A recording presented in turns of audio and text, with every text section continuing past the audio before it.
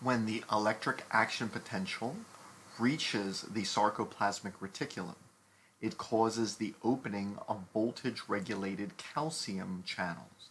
These channels are closed at certain voltages but then open at others, such as the voltage of the action potential.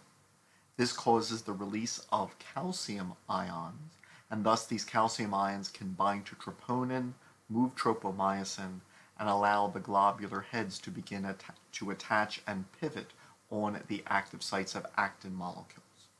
The sarcoplasmic reticulum also possesses active transport pumps, which begin to pump calcium ions back into the sarcoplasmic reticulum after their release in an action potential. This will remove the calcium ions from the sarcoplasm, and without calcium ions, the inhibitory proteins of troponin and tropomyosin will once again cover the active sites of actin. And so thus the active transport pumps of calcium in the sarcoplasmic reticulum use ATP to pump calcium back into the sarcoplasmic reticulum and thus end a contraction.